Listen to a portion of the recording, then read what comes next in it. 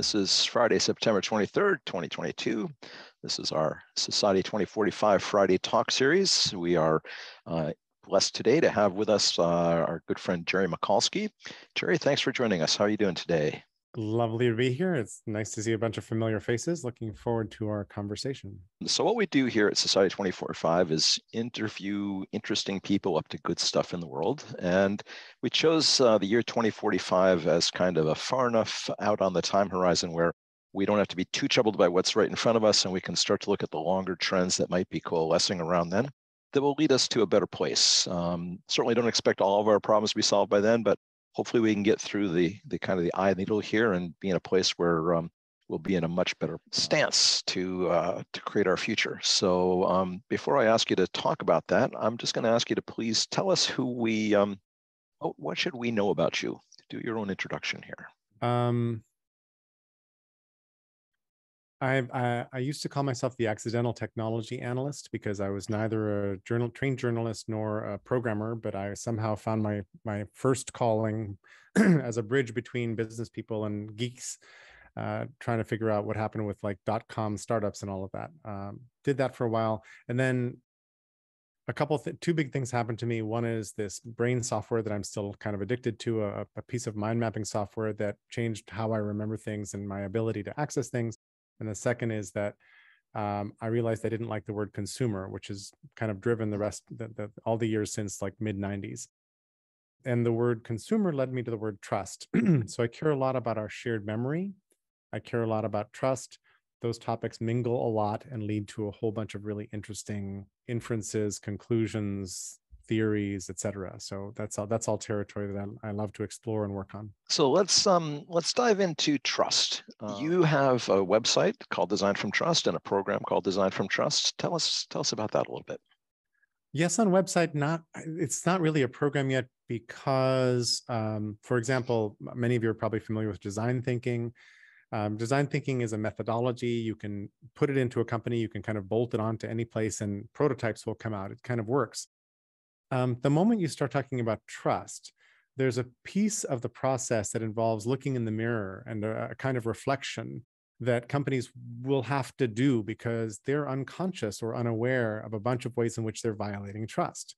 So, for example, lightly, the advertising model that is the principal funding model of the behemoths that we all depend on, that we're all critiquing right now, it involves multiple breaches of trust. One of which is you dumpster dive my data, my data and know much more about me than pretty much anybody understands they know.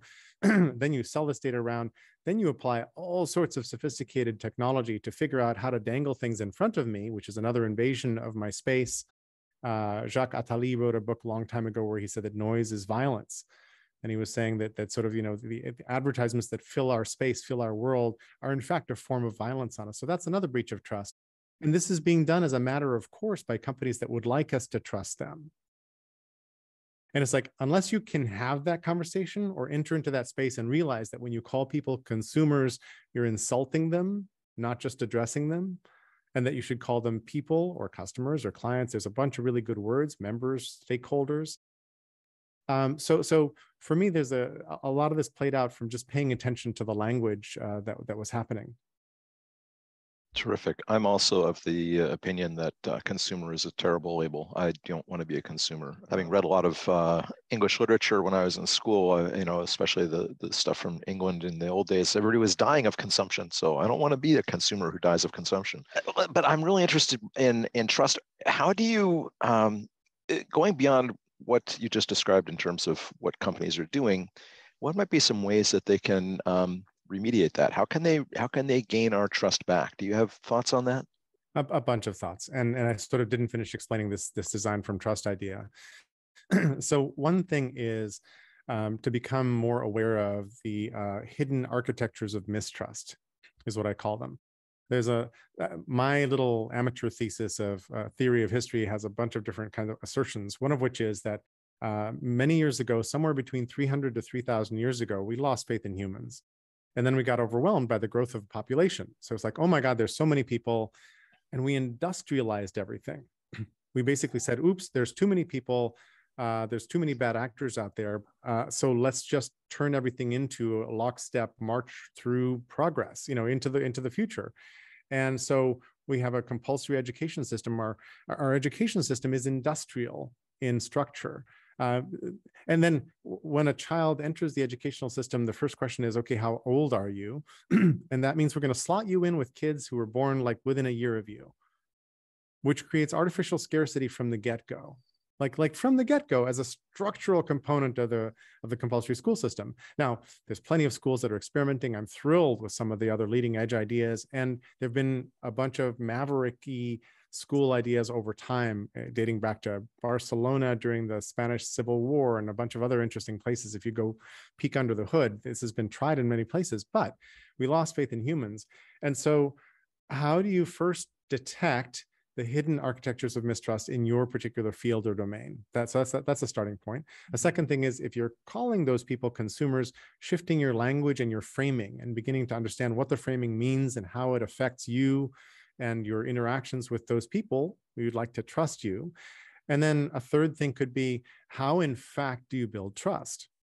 And it, it ain't hard. Um, often it means telling the truth. Uh, a whole bunch of companies, for example, have skeletons in their closet like really big, nasty, smelly skeletons. and one of the things I was I was trying to figure out is could there be a world in which an organization like a company could call for, could invoke, could request a truth and reconciliation commission hmm. around some issue so that in exchange for truth telling, they wouldn't be put out of business and have the ground salted where their building used to stand and they could still sort of you know continue doing things but then they could be honest with you Mm-hmm. right? So so so that sounds like a really big insurmountable thing but there's plenty of companies with nasty skeletons that prevent them from opening the, the curtains or the doors and letting people in to see what what's actually going on. Another really bad thing that's going in america is particularly egregious in this is uh, exorbitant executive compensation. One of the design from trust practices is called workplace democracy. Goes under a bunch of other different other names. And it's really really hard to have workplace mm. democracy when your executive is making 600 or 1000 times more than the lowest paid worker in the company. That just that's just not fair. It just doesn't work. So then when you say hey people set your own salaries and bonuses which happens in a few companies that have workplace democracy that ain't going to happen in, in a company that has that much disparity that much inequality that much inequity going on so if you really want to sort of uh, get into the path of design from trust, the, the place to aim for, I call becoming a trusted ally. And the way I explain this is um, I ask a mostly rhetorical question. I say, do you tell your healthcare nexus complex, do you tell them everything about you and your health? You, you know uh, your nurse doctor insurers everybody else you touch in the health do you tell them everything? And, it's a rhetorical question because everybody's like no no no no no. System is designed to to like pound my head. If if any, anything is broken pre-existing conditions who knows what? The system doesn't respond well to that. What if you could what if you could tell mental health practitioners nurses doctor everybody like really everything about you? And what if they what if they had such a trusted relationship with you that they could sort of bring you behind the curtain and say hey we don't know everything about how the body works but here's what we know. Here are the levers we can pull. Let us help you hack your your life happiness well-being and wealth spelled w-e-l-l-t-h not wealth which is what your maybe your bank could be working on. Although your bank would be really smart to be also be working on your wealth as well-being right? Mm-hmm. so so there's all these opportunities that nobody's picking up because um, i would never leave my trusted ally organization. If i were their their client i'm their client for life if they don't betray me if they don't overcharge me and if they get to know me better than anybody else knows me, I it's going to be really hard to leave. That's a form of stickiness, right? Companies always want stickiness because everybody loves an annuity revenue stream more than like a one-off sale. Um, that's a way to get there, but it's like the moral high ground. And I think it's also such a challenge to actually be that way that your competitors are unlikely to be able to follow.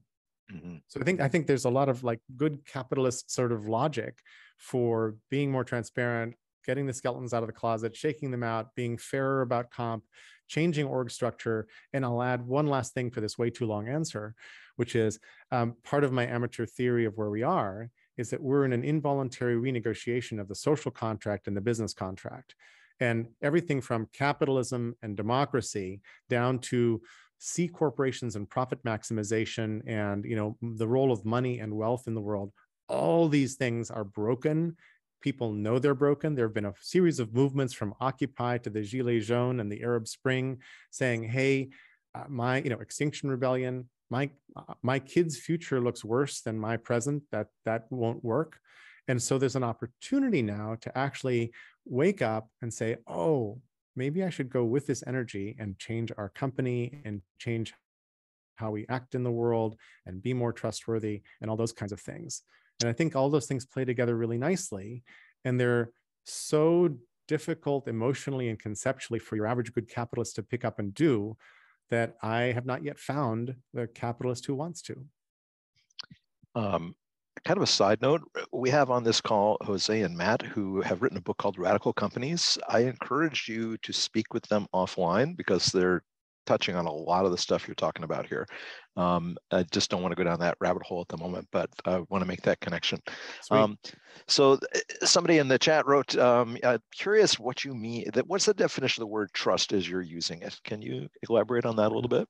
So there's a there's a whole bunch of different definitions and models for trust. Um, I just think that trust is sort of the you can rely on somebody doing something in the future is is a, a slimmest lightest form of trust, and that definition means that um, you can trust uh, Donald Trump, which may sound like a weird thing, but I'll make that point uh, with a with an easier example, which is Dr. Evil.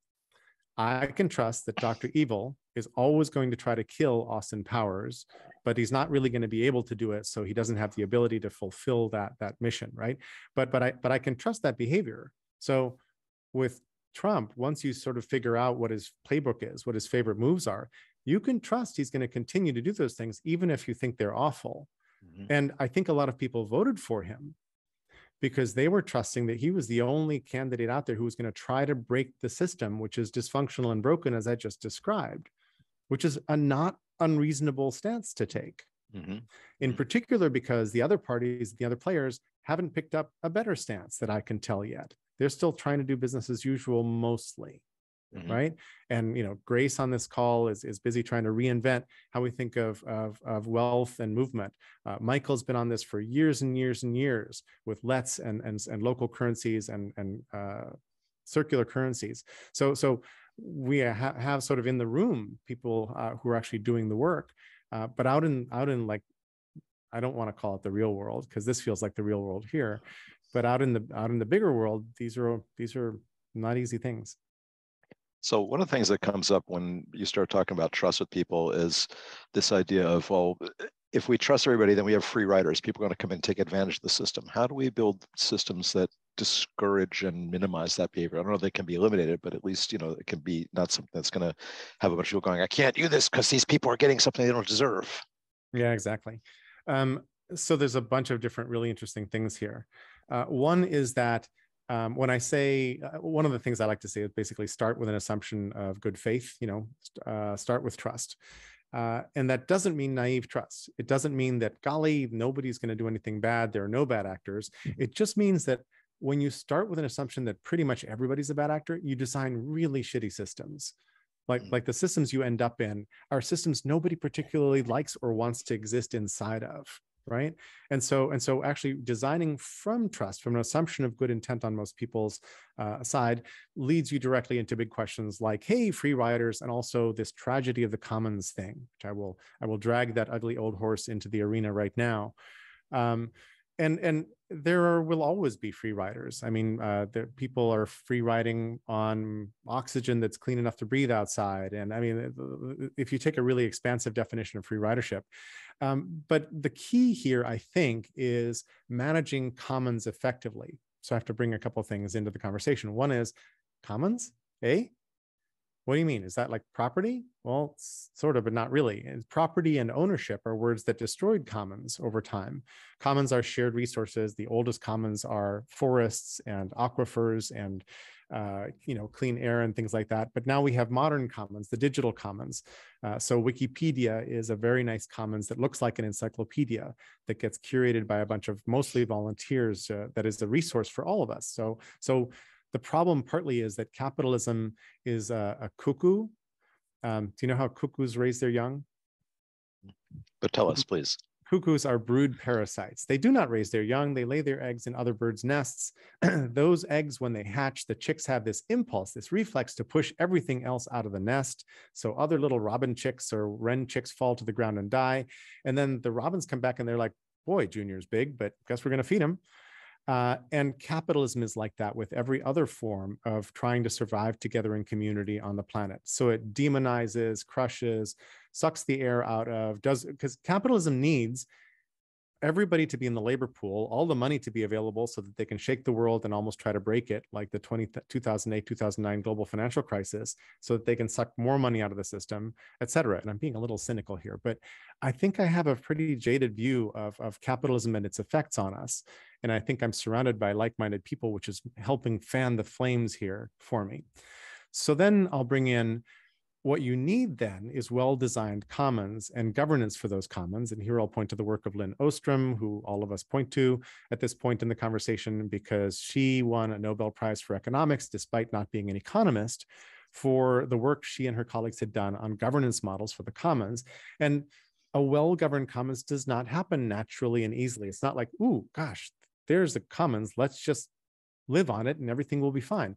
It actually needs to know who's in charge of it. What are the sanctions for people who violate the commons? What, what happens? How does this all sort of work? And there's a really nice book by Lewis Hyde, the guy who wrote uh, The Art of uh, the, the, the, the, the gift. gift, the gift, yeah. But he also wrote Common as Air, and in Common as Air, he talks about the commons, and he says that in you know uh, in England way back in the day, um, maybe before or around the time, probably before the time of the enclosures, but around there, they used to beat the bounds of the village like once a year, which means they would they would walk around the village, kind of in a crowd, everybody together, correcting the mistakes or uh, th the different ways in which the commons were being invaded or broken. So if if somebody had moved their a fence over into the forest that shouldn't be there, they would break the fence and reset it back where where they should be, or or something like that. So there's all kinds of interesting things to to know about the history of commons and how these things work. Um, but free ridership uh, and then i'll say one last thing about free riders which is um, it's a little bit like vandals you kind of want to turn free riders into, into good actors and participants. That the best thing you can possibly do is set up a governance mechanism that is really inclusive and friendly and warm and welcoming so that um, new arrivals who just want to take advantage of this cool thing are like, oh, hey, maybe I want to be part of this community, which means trail cleanup days in the forest, which means I don't know what else. But all of a sudden, they're helping maintain the commons instead of merely taking advantage of it. and then they're in and then they're in. And part of my my frustration and hatred of the word consumer is that when we were turned into mere consumers instead of being citizens we lost our sense of responsibility and mutual interdependence. We lost our sense of agency to make changes in our world. And then our only job as good consumers is to buy more crap even if we don't need it. And that's not that's not a it's not a role that leads to anybody feeling good about their lives necessarily unless all you're on is the hedonic treadmill one of my biggest disappointments after the uh, attacks on 9-11 was seeing the American flag with shopping handles on America open for business. Like, really? This is our response? We're gonna we're just gonna switch to going back to shopping. It's just nothing happens, you know. It's that was very, all, that was all George Bush had to say was he said go shopping. It was incredible. It it was like his father's terrible response after the fall of the Iron Curtain. There was this moment where a bunch of people needed to figure out how to govern better, and we could have really actually helped. Yeah, yeah. Well, that that's a, a great segue into my next question, which is you and I have talked often about the fact that we live in an amnesic society and that um, indigenous people have a way of, of transmitting hard-won knowledge across generations, even if they don't have any written means to do so. So I'll take, for example, the Great Flood in California of 1862, where the entire Central Valley was flooded. In fact, I, I read that it flooded from Oregon to San Diego to Utah. It was an amazing atmospheric wow. river event. And interestingly, none of the indigenous encampments were underwater. Now, there hadn't been a flood like that for something the, on the order of 150 or 200 years, but they knew in their their culture carry that along, that information. Don't build below this line or you could be flooded out. And we seem to have lost that ability to carry with us our hard-won knowledge of what do you do when you see fascism rising and what do you do when you see this kind of threat or that kind of threat. how do we address this amnesia? What, what do you have for ideas? And I know you've got a lot on this, so I want to, you know, toss this over to you. What can we do about this? How can we remember what's important? Good Lord. Um, okay, pop open another big can for us. It's a it's a lovely question, and and I'll add to your question, kind of, what do we do about the fact that it seems like students are disengaged and maybe like really dumb, and citizens are really dumb and falling for like these plots and other kinds of things. Uh, you know, uh, the ex president is wearing QAnon pins and playing QAnon music because he knows that he can play to a 20% of the country that's bought a series of highly implausible and actually kind of crazy plot lines that were there to be picked up, um, which are based on little tiny shreds of doubt and fear and fact, like, you know, a lot of mothers who worry about vaccines and so forth. Hey, come on in. We've got a big community doing this. And I'll point out that um, behind QAnon, behind 8chan and 4chan, uh, behind all of these curtains, are people building community and giving each other high fives for having done something cool and interesting, feeling like insurgents inside of a system that's broken. Mm. I just want to empathize with them for a second because mm. because that's partly why they're there is that everybody around them is doing this and it's in the air and I got community now, right? So so you have to you know, when Hamas does a better job of taking care of Palestinians than any other government agency, people are going to love Hamas, and Hamas knows that right? Going back to our pre our, our pre-game show here, talking about Scarface, you know, Al Capone was beloved by his community because he fed them. You know, people did not want Al behind bars. He fed the community. So this is key. We we have to attend to community, which again, community is also a commons, I think. Exactly. back to you around amnesia here. Total, totally agree. So, um, so one of the things I, I believe is that humans are actually pretty smart and that we've been dumbed down by how we've been treated. It's sort of like a learned helplessness, which is, by the way, what Marty Seligman was studying before he turned to happiness. Mm-hmm. It's very interesting. He was like, "Ooh, this is a really sad topic. I should find something better." Um, and so there's a bunch of reasons why I think we're amnesic. And one of the sort of forces at play here is that the copyright industries. Mm. And so, so anytime a new technology showed up that might mean we violate some copyright. So cassette tapes. The, the, the, the recording industry hated, the music industry hated cassette tapes. And there's a thing called the American Home Recording Act that finally got passed, where there's a tax on every blank cassette sold because you might just record songs and pass them to your friend as, as a mixtape or whatever. And when the internet shows up, all these companies really freak out. And the internet manages somehow still today to sort of bypass a lot of this, where I have way more stuff to watch and read than I can possibly watch and read, which is not being locked down and taken away from me by digital rights management or whatever else. So, so that's kind of interesting. But, but in the process, we got accustomed to not storing and sharing and remixing stuff for each other. So we are drowning in the information torrent and we have very few reserves of shared memory and the mm. quest that i'm on right now with open global mind is to try to figure out how do we build a shared global brain that's more than Wikipedia, builds on Wikipedia. I adore Wikipedia, but builds on it so that we can express what we believe and why. So that a QAnon fan can say, here's what I think happened, and here's why. And we can stop and slow down and go, well, can we look at these things? And, and that can easily be 4,000 rabbit holes that go down because the people inside of these games know that if you just complexify things and obfuscate long enough and flood the zone with bullshit, which is a, a tactic, it, the, the fact checking is endless actually endless can never stop and so you never end. So so there's a whole other piece of this which is about um, the building of trust and just being able to actually approach people who are other than you uh, or and maybe even who've been othering you and have a conversation that's reasonable so that we can start to figure out how to sort the world out together. So so the copyright industries have it so that we don't even have a reflex anymore to try to save stuff and share stuff. And I had the weird good fortune 25 years ago of having a little startup come through our office and pitch me this mind map called the Brain, which I started using a month before they released it to the public. And I still use the same data file. Can everybody on this call, uh, I know for a fact, is in my brain and has been in there for a long time. And current events are in there, things I care about, but important issues are in there. And this this triggered in my head, oh my God, and and it's a personal reservoir of what I've seen worth remembering, but I regret entirely that it's not a social reservoir. I want this to be multiplayer, I, and that's the quest I'm on right now. Is like, what does a multiplayer global mind look like, right?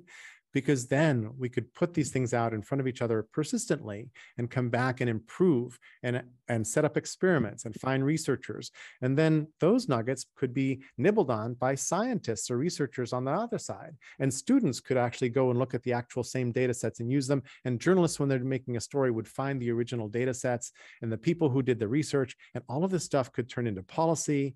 And, and so solving the amnesia thing through a little bit of technology and a lot of trust I think, I think could take us back into a space where we could start solving the looming crises that are right in front of us. Because as far as I can tell, in this very strange moment that we're in, we are we in the US are fighting for this not to become the handmaid's tale as a nation, when in fact we ought to be desperately trying to figure out how to stop all the machinery from spewing carbon, how to capture and sequester more of it, how to stop, how to replenish the aquifers and do all these other great things that aren't they're not rocket science, I'll say weirdly. Um, but you know, healthy regenerative agriculture is a fabulous avenue for capturing lots of carbon, capturing lots of water, feeding lots of humans, et cetera, et cetera, et cetera. Can we just get everybody on that train and, and do that lather, rinse, repeat on regenerative ag everywhere? Okay, good. Next.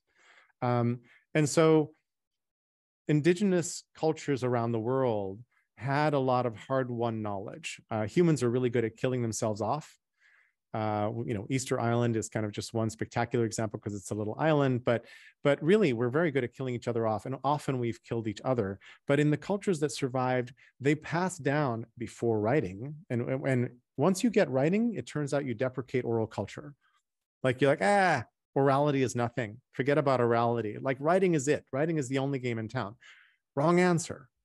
Um, orality is really important and really interesting. And a lot of cultures, uh, a lot of knowledge was passed down you know, generation by generation by memorizing things, famously songlines in, in uh, Aboriginal Australia, which are songlines are super interesting. I only have a, a little understanding of them. I'm reading a book about them now not the Chatwin book, which is okay but really superficial. And and songlines are sort of like a map of the territory, kind of like a like a TripTik from AAA. They're uh, a story of the myths of everything you're going to run into on that trail. Like those rocks used to be like Gorgon sisters, and that over there was an anteater, and they went into battle. But also, liens and property rights and access privileges and stories of what happened along those places are buried in and recorded in the songline. And these were memorized and passed down generation after generation. It's super, super interesting. And just to make a little link to the, mo- the modern present, I kind of think of songlines as the original blockchain. Hmm. Interesting. Because they're kind of an immutable memory formed of blocks that are connected up that that that record stuff that happened, right? And and I'm not thinking that the blockchain is going to cure our amnesia, but it might be a component in there. I, I don't think Web three is actually working on this problem very well yet. I think it's you know the the solutions on deck are really confusing and, and kind of messed up. But for me, I'd just be happy if we could have multiplayer global brain where we could talk to each other and say, I believe this because and and kind of all the sentences i'm uttering in this conversation are in my brain in some fashion because that's how i use this memory mm-hmm. right? So I, I have a thought in there. I have lots of thoughts about trump and his playbook his favorite tactics. That's a huge web of things. Uh, i have a thought called uh, we're in a titanic battle over the narratives in our heads and we always have been. The, the story of history is basically a fight in the cockpit over the joystick of who gets to control what the narrative is going to be for our culture for the next period. Mm-hmm. And then we wind up under dysfunctional narratives for a couple hundred years, right? Which can't be dislodged and which then affect the future in gigantic ways. That, that's the, the, the future we're kind of in right now. Um, so I'll, I'll, stop. That was you. You keep opening very juicy uh, topics where everything is connected. Well, before I open another one, uh, I want to open the conversation up to the, the studio audience here. Uh, I'm sure some of you have questions for Jerry because it'd be easy.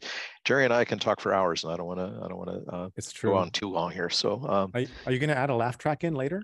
We are. Yeah. Um, perfect. Perfect. So, who would like to post something to Jerry while we have him here? So, I have a quick. I can just chime in and Oh, sorry, I just put a quick one in the chat, maybe just to pick up on what you just referenced, Jerry, in passing about Web3. I think so, there's a lot of misconceptions and, and, and maybe it's not so useful to, to get hung up on the term, but I'm just curious because I haven't seen you around the space, you know, I, in my view, there's a lot of interesting stuff actually. So, um, so Charles's question, as he wrote it in the chat, is what is Web three and how much have you looked through? Uh, thanks, Charles. Uh, and sort of Web three is kind of complicated. There were early versions of Web three, or people were calling things Web three that had little to do with crypto, uh, but now it's kind of like the crypto future uh, which involves DAOs and NFTs and a bunch of other sorts of things, and also distributed open ledgers and a variety of things. And from my perspective, so my my my junior varsity uh, take on Web three is. Um, Web3 includes some of the component piece parts for our future platform or our future infrastructure that somewhere 100 years from now, they're going to look back and go, oh, we use this, this, this, and this. But but the visions that I hear of how Web3 is going to work out and how we will all we'll all just have smart contracts and everything is reducible to contracts and then we'll we'll sort of put rewards on smart contracts inside of a DAO and we'll bid on those and that's going to somehow even out to to work uh, to to guide a community to doing things.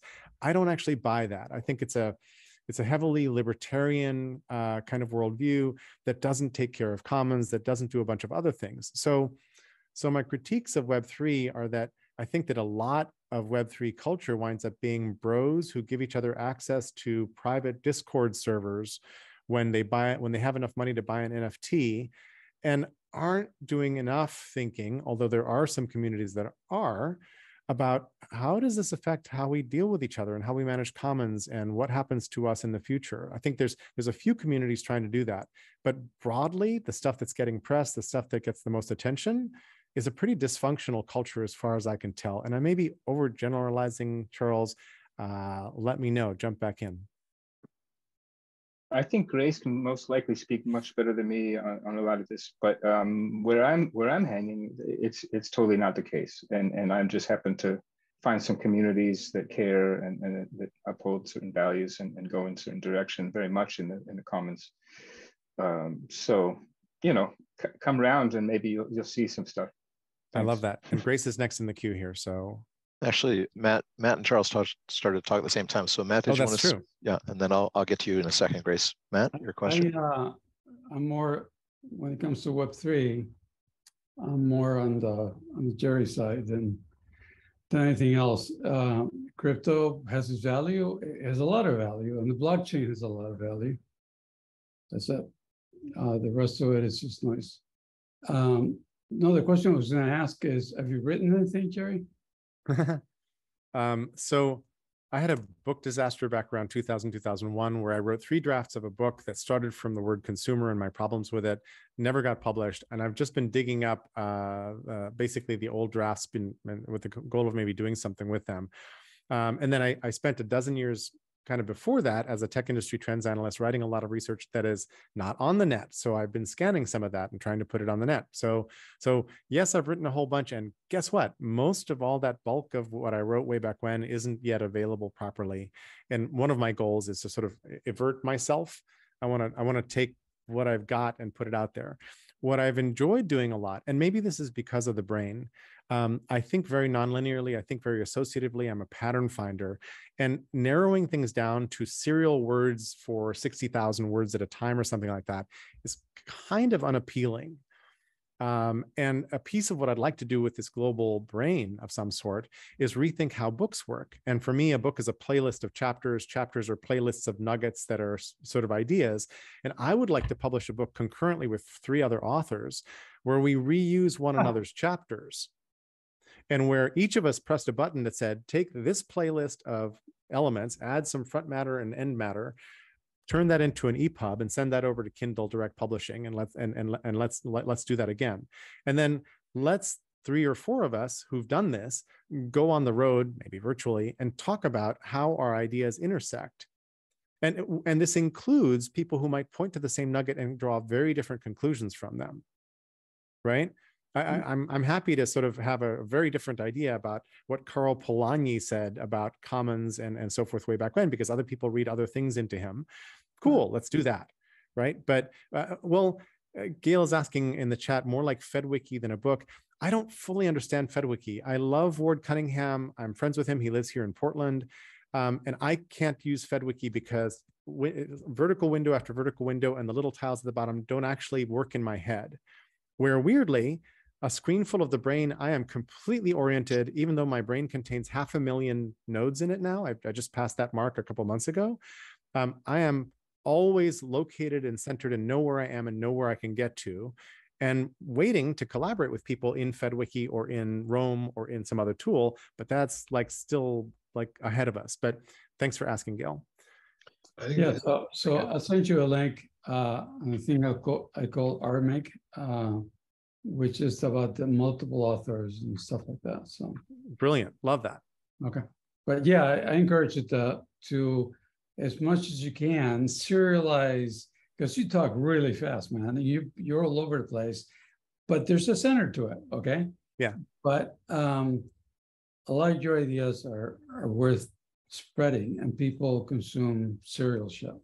Thank you. And and I was going to add the thing I love to do is short videos and screencasts and braincasts. So I've got a whole bunch of them. I got a bunch bunch of playlists on YouTube where uh, you know, you can see a bunch of things that I'm thinking and doing. And I, I, love when I give a speech, I try to make sure that it goes online openly, et cetera, et cetera. So I've got, so I'm, I'm happier and sort of friendlier in this short video mode and trying to do a, a, a bunch of that, but I need to go back into, into writing mode and and i'm counting on the pause and rewind and play slower functions so that i can pack a lot. I can i can speak in burst mode but any any listener can actually avail themselves of the technology to slow me down.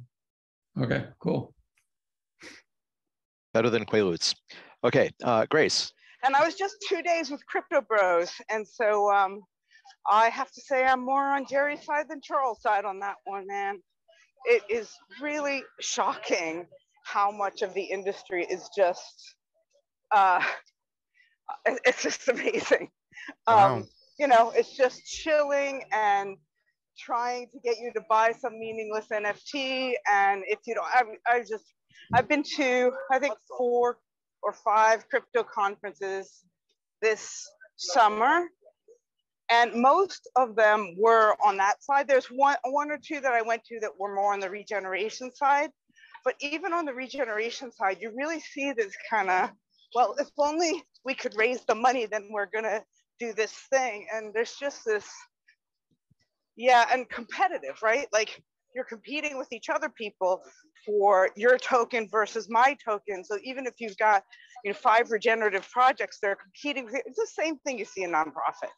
And so there's a real lack of transition out of this monetary thinking and competitive thinking. So I have to say that, yeah, but that's not why I raised my hand.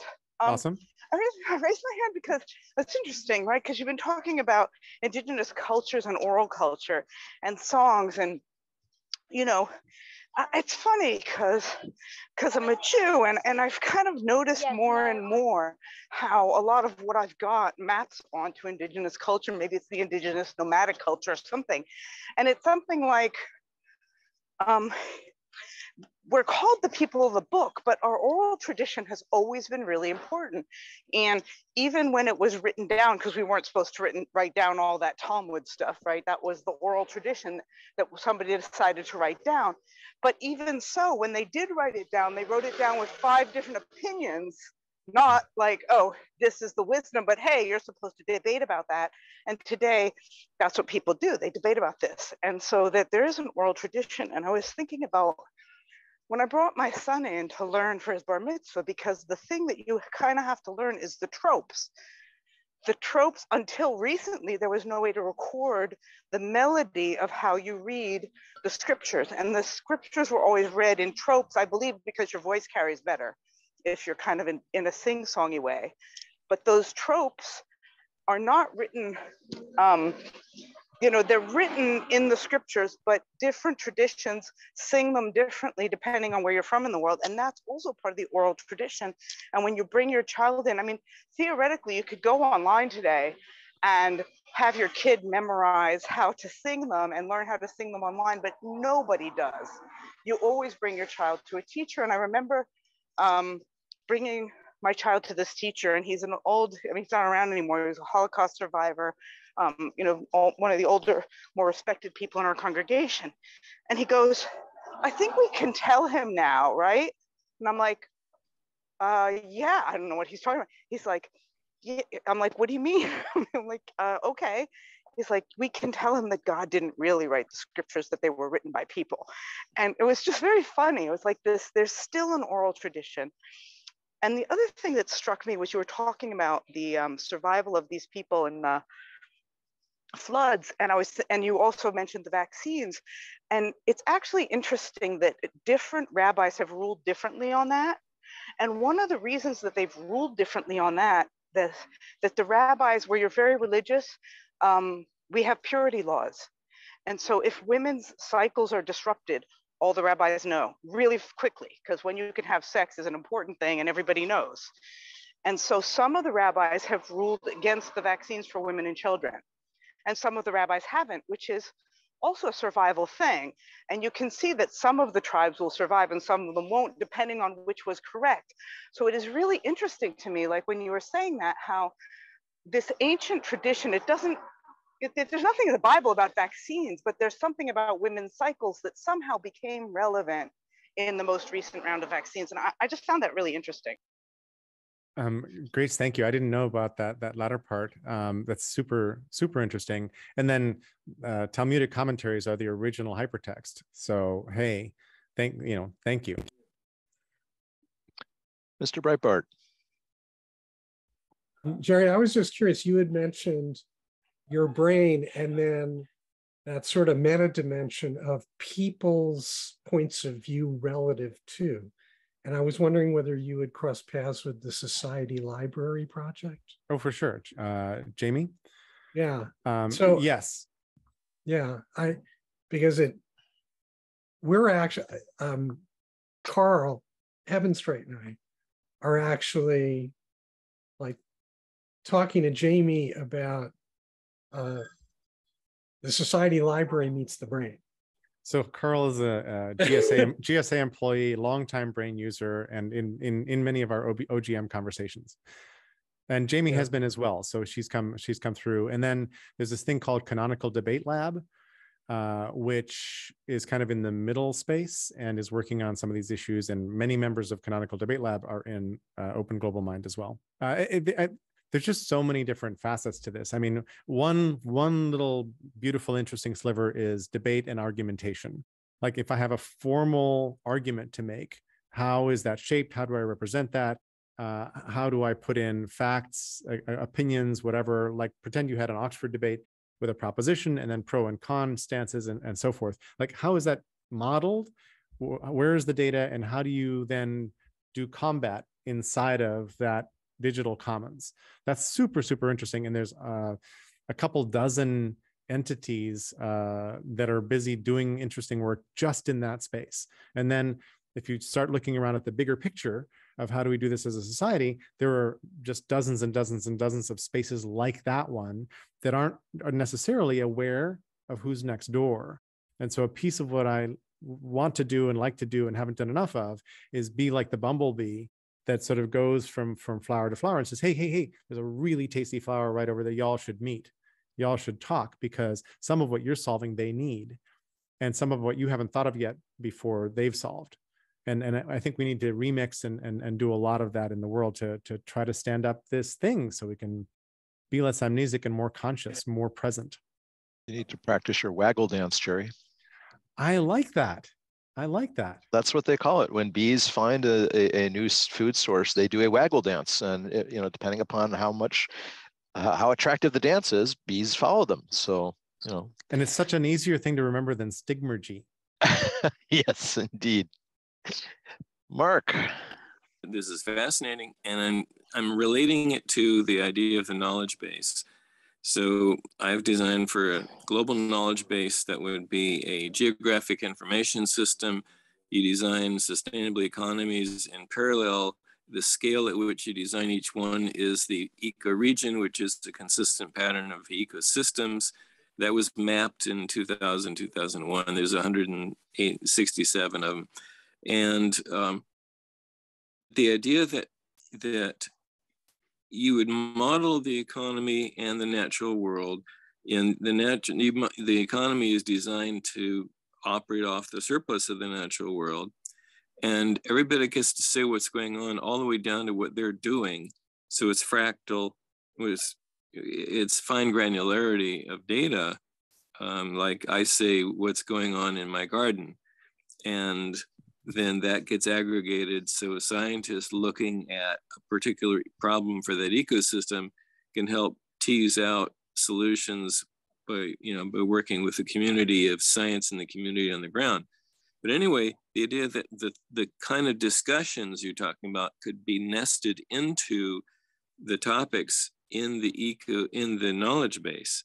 So you create a framework, a, a scaffolding for these conversations that and the bumblebee is going to check out and you know you could uh, you could also be pointing to these are the places and here's an expert system designed to solve this particular question and you can contribute to it and so that becomes a way of creating a um, Teilhard de Chardin style noosphere. Um, Mark, thank you for for what you just described. It's really really interesting. Geography, uh, sort of like mapping to the land, is one of these other dimensions and a huge sector out there. Not everything is geographic, but boy, when you talk geography, it gets really interesting quickly. You probably know, but probably everybody on this call doesn't know that John Wesley Powell who explored the west of the Mississippi, basically the country west of the Mississippi, lost an arm in the Civil War, had himself tied to a chair in the middle of a little boat, and went was one of the first people to navigate the Colorado River that way, like with one arm, like shouting commands.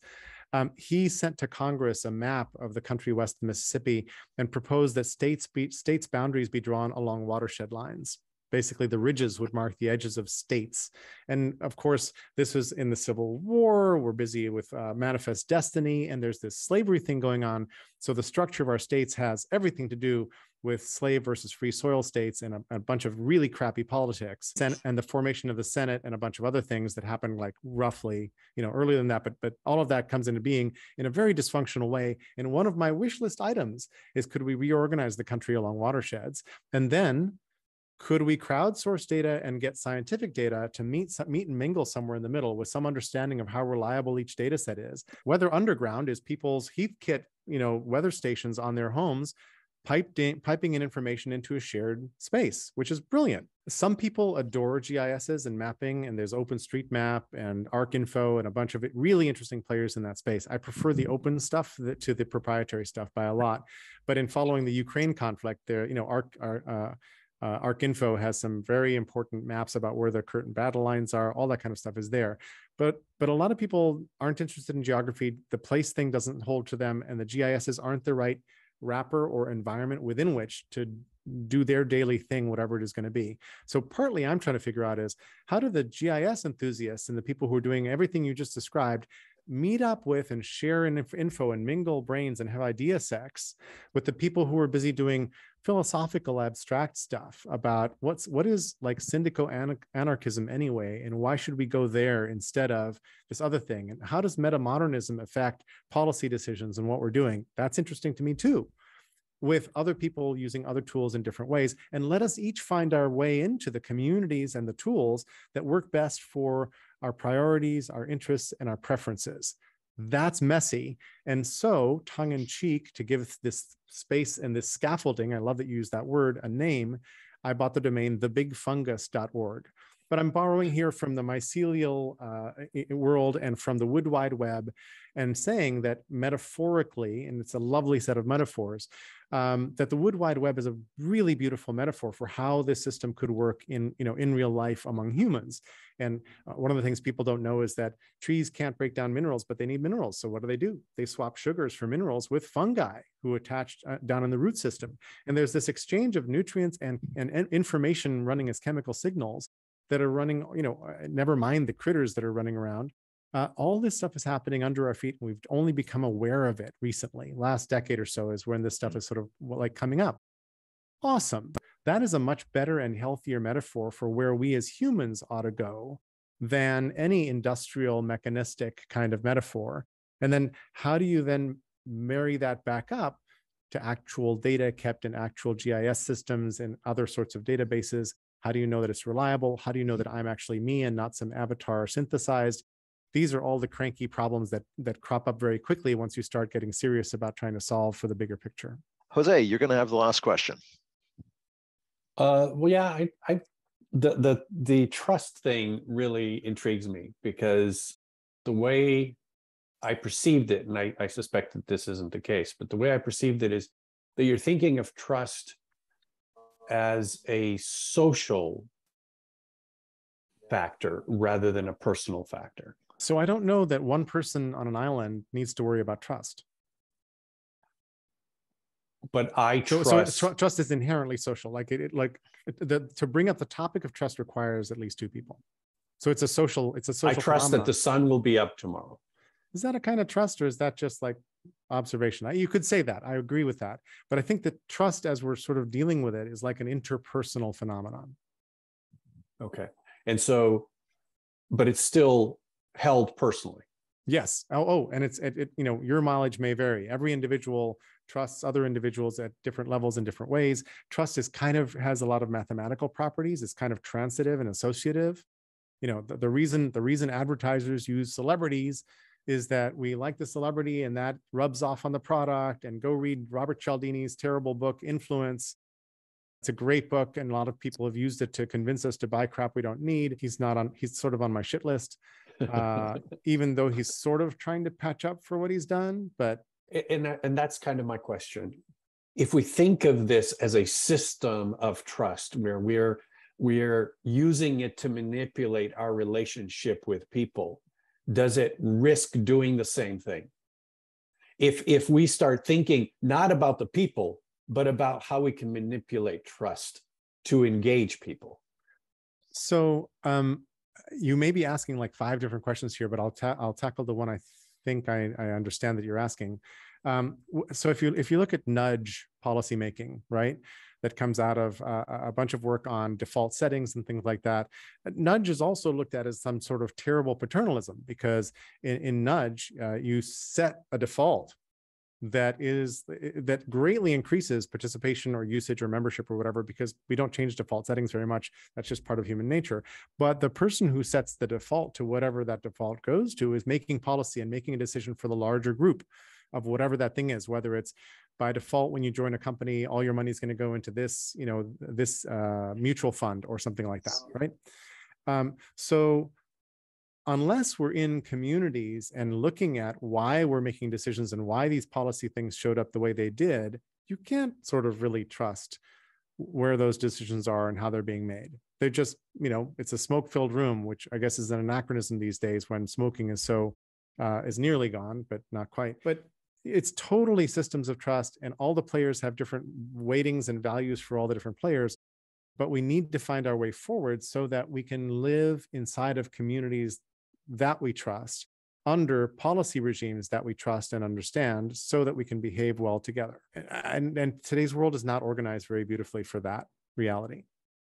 So, so I have a notion I call nations of choice. Um, best example may be Burning Man, right? Now, you can't imagine the whole country running like Burning Man because I don't think anything would work or get paid for or whatever. But, but we take capitalism and money so for granted here mm-hmm. again waving at Grace and Michael and others.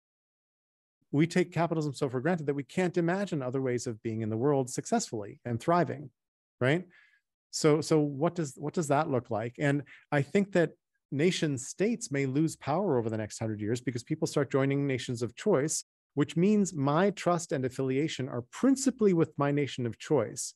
And i might put a badge on my you know avatar or whatever that says i i will you can trust that i will act according to the principles of and mores of my nation of choice being whatever.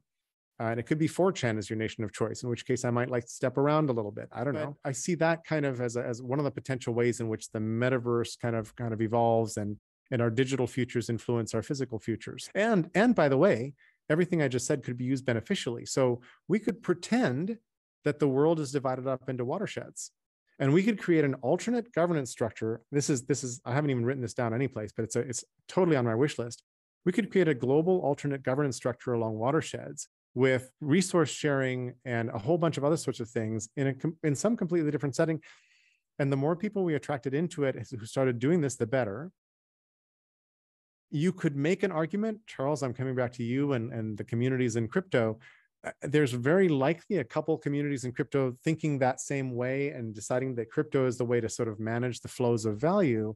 But my fear is that most of the bulk of the others are not and in fact are doing horrible wasteful like stupid things uh, that aren't necessarily that helpful what's fun is like writing code just takes your time uh, none of this requires a whole lot of money it requires people of reasonable will coming together to sort these things out and, and then glue all the moving parts together unfortunately all the moving parts are really really complicated and how do you do the glue and that's the conversation that i think we want to have next but I'll, I'll leave that for another and, time. And the glue's got to be really light. It has to be more like post-its than uh, Loctite, right? Yeah, absolutely. Uh, it has to be restickable stickies, which were an accidental discovery and not the thing that's bonded. You know, you want late binding and you want gentle binding. Yeah. Uh, or maybe for, conduits rather than glue even. Yeah, exactly. Well, we are all just energy trapped in fields. Right. And uh, you know, I'm no physicist by far, but but that's a nice analogy also to what's happening here. Is that is that you know regimes are sort of energy fields themselves. Exactly. Beautiful way to end. I feel like that. this could go on for hours. Maybe, maybe, we'll have to have Jerry back another time. But uh, I don't know like that I'll ever be this eloquent or quick. But well, I, would like to thank you for your eloquence and your and your quickness today, and for showing up as our our guest. It's been a pleasure to have you. Really stimulating conversation, which I kind of knew would happen. Um, thanks everybody who's joined us. Thanks a lot. Thank you. Thanks for the invite. Thanks for all the great questions from everybody. It's been awesome.